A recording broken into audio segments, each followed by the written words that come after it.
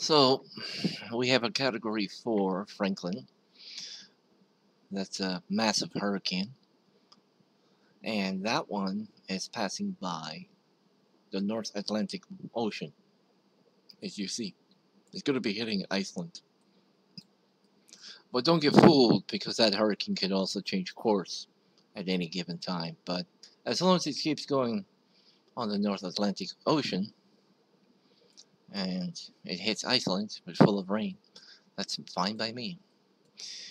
But we do have another hurricane right here, category 1, that's going all the way around here, close to Bermuda. It's going to make a little circle.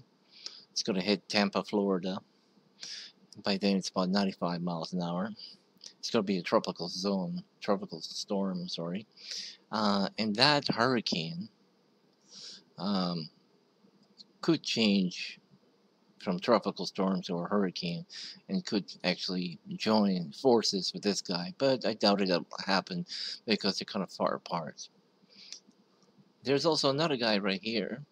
As you see, this guy here is in the Sargasso Sea, quite near. He's also headed, kind of passing by Bermuda. Now, I don't know if he's going to go anywhere. Sometimes they kind of die out, you know, they lose momentum. They're going to say, eh, you know, I don't want to go anywhere. But you don't know because this guy could, you know, potentially go to Canada right here because it's like a bullseye target. Or he could also turn around and say, nah. But keep in mind the temperature here, as you see, it's 27 degrees. That's what fuels the uh, hurricane. Um, in Canada, it's only about 19 Celsius and 27 Celsius right here. So there's plenty of speed here. Still, it has lots of fuel. Okay. So, oops. So over here, if you look over here, there's this other uh, other hurricane right here, tropical storm. And I don't know if this is going to go anywhere. There's two two new ones right here as you see. One is actually near, next door to Los Angeles and the United States. It's passing by, it's cruising speeds at 65 miles an hour. But generally they don't make it that far here. And then you have a, then you have these two, actually one, two, three, four, four of them. This guy, I have no idea where this guy's going to go. That's a medium, not medium 35 miles an hour tropical disturbance most likely a tropical storm. But this guy is going to go hit China, Shanghai, and Taipei. And this guy right here, um, this this typhoon, these are typhoons. So it is a tropical storm, but they're going to be typhoons. And it's going to go directly to China or Vietnam around here. And that's okay. I mean, you know, after all, they can keep it. There was lots of rain at Luzon area here. This is Manila, this Luzon here. So this typhoon, the super typhoons, they're very powerful compared to a category 4.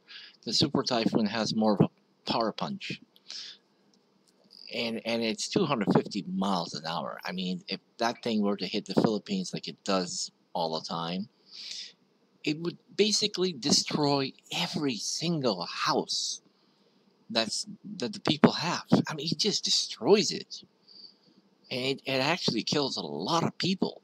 Floods, and the winds are very very high. It's it's just crazy how much power that super typhoon has. It's just insane. So, yeah, that, that thing is strong.